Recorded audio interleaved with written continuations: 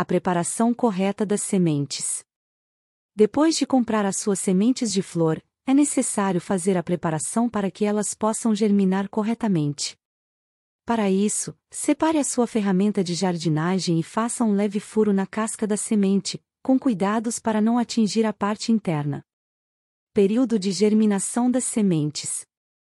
Com a preparação das sementes concluída, chegou a hora de fazer a germinação da planta.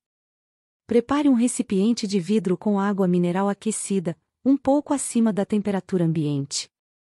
Normalmente, as sementes da planta são deixadas em um local que recebe algumas horas de sol por dia até que as primeiras raízes comecem a aparecer. Durante o período de germinação, que dura até nove dias, é necessário trocar a água da do recipiente diariamente. Local definitivo para sua planta. Após o período de germinação, é o momento de encontrar o lugar definitivo onde a sua flor.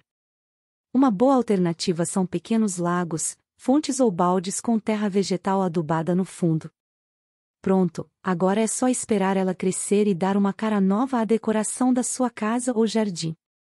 Gostou de saber o que significa a flor de lótus e qual a maneira correta de cultivá-la em casa?